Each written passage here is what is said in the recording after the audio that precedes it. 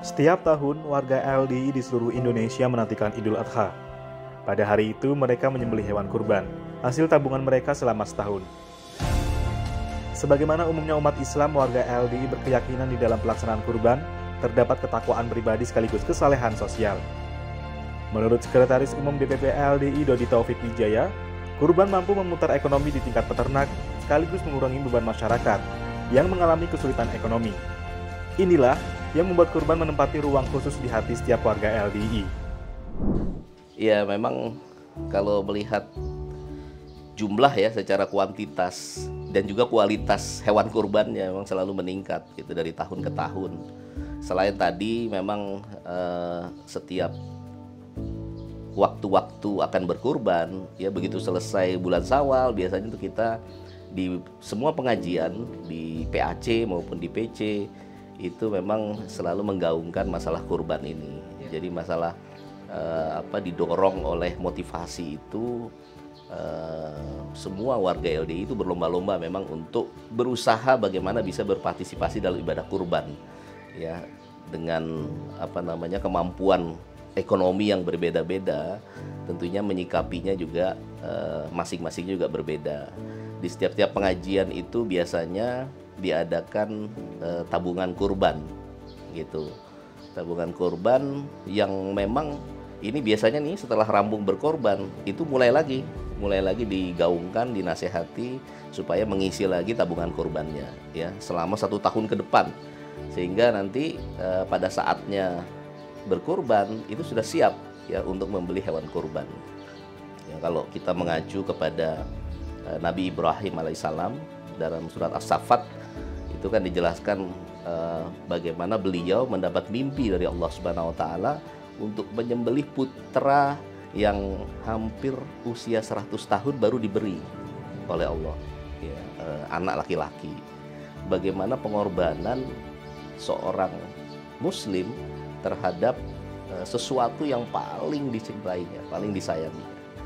Jadi memang uh, di situlah uh, makna berkurban ditarik, bagaimana uh, warga LDI berlomba-lomba, ya, bagaimanapun persiapannya supaya bisa berkurban. Uh, setiap tahun terus meningkat. Tidak hanya kurban ya, semua aspek ibadah uh, warga LDI itu ditekankan ada nilai kesalehan individualnya, ada juga nilai kesalehan sosialnya. Setiap bentuk ibadah, khususnya kurban ya, kurban itu ya dalam Al-Qur'an juga diterangkan dalam surat Al-Haji itu eh, Allah memang tidak mengurus atau tidak apa namanya eh, melihat dagingnya maupun darahnya. Tapi yang sampai kepada Allah dengan segera sebelum darah kurban itu menetes di muka bumi adalah masalah ketakwaannya.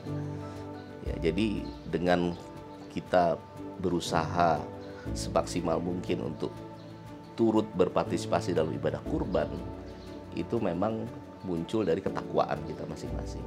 Jadi yang memang yang diterima oleh Allah ya bukan darahnya, bukan dagingnya, tapi adalah ketakwaannya.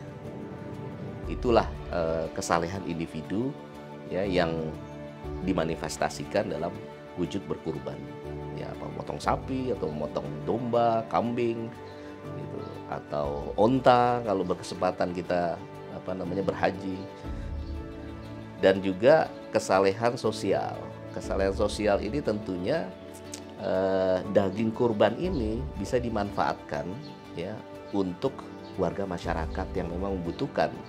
Tapi memang kita tekankan eh, dalam kesalehan sosial ini ya daging kurban ini semaksimal mungkin memang dinikmati atau dibagikan didistribusikan kepada masyarakat luas. Karena beberapa faktor ya harga komoditi meningkat harga-harga kebutuhan pokok meningkat di mana-mana gitu kan banyak masyarakat yang memang eh, kemampuan atau daya belinya kan menurun jadi memang sangat sangat bermanfaat sekali, sangat membantu sekali daging kurban ini jika dibagikan kepada masyarakat yang lebih luas gitu. Saat-saat ini meskipun ada beberapa daerah yang yang sudah menerapkan PPKM level 1 ya eh, ada juga beberapa daerah yang masih ya menerapkan eh, pembatasan kegiatan masyarakat sehingga uh, kami menghimbau juga sebelum apa namanya uh, melakukan prosesi korban atau pada saat sholat Idul Adha itu kita mengacu kepada surat edaran Kementerian Agama yang baru lalu. Kemudian juga tetap mentaati protokol kesehatan ya, baik dalam sholat id maupun dalam uh, proses berkurban itu ya. dan semua ini kita himbau melalui surat instruksi jauh sebelum uh, pelaksanaan kurban ini ya, mulai dari pertengahan bulan lalu kami sudah menginstruksikan melalui surat instruksi dari DPP kepada seluruh DPW provinsi dan kita juga minta meneruskan kepada semua warga LI sampai ke PCPAC ya untuk tetap selalu menerapkan protokol kesehatan. Dan terkait dengan penyakit mulut dan kuku yang memang akhir-akhir ini banyak diberitakan, sebenarnya DPP LDI dan juga beberapa DPW itu ada beberapa apa e, memberikan knowledge atau e, beberapa DPW bahkan melaksanakan webinar ya untuk bagaimana mengidentifikasi dan menangani hewan-hewan yang terkena PMK ini.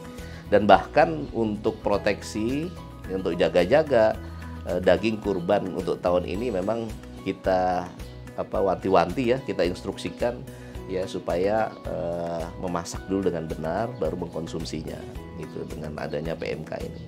Dan di beberapa DPW kami lihat ada webinar yang mengundang dari Dinas Peternakan, kemudian dokter hewan untuk berbicara tentang PMK sehingga pengetahuan terhadap PMK ini dan bagaimana mengatasinya ya yang dihadapi oleh hewan korban ini eh, bagi panitia-panitia kurban seluruh warga LD ini sudah eh, mengetahui dengan baik ya, tentang PMK ini. Dodi berharap umat Islam dan khususnya warga LDI terus meningkatkan ketakwaan dan kesalahan sosial. Idul Adha bisa menjadi momentum untuk menggali kembali budaya luhur bangsa berupa gotong royong, peduli, dan mulas asih sebagai modal membangun peradaban bangsa.